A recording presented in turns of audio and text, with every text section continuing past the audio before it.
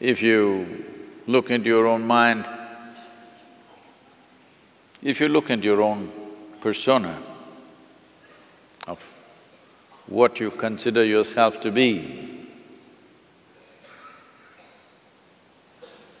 normally what you call as a personality is essentially different levels of constipation. I don't like this, I can't stand this, I can't do this, I can't do that, I only like this, I cannot like that. Different levels of constipation. What causes this constipation? Constipation in its uh, physiological sense means constriction of a tract. Here, it's constriction of one's mind and consciousness, that it's held. There's no free flow of life. It's restricted because your ability to experience your life is only through the instruments of your body and your mind. Either your body or your mind in some way constricted means.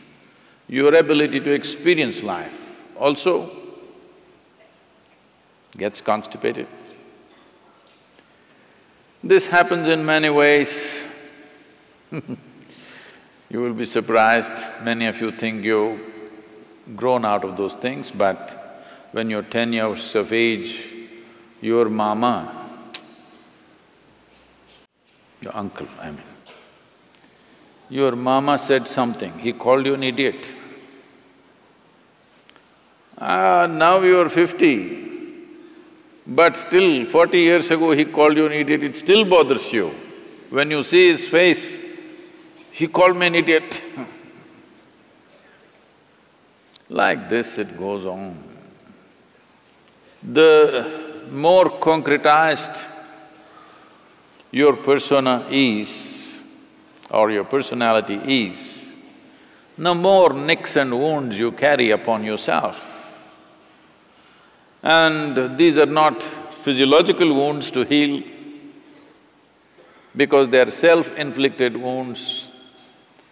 These are being carried as badges of life's experience, so they don't go.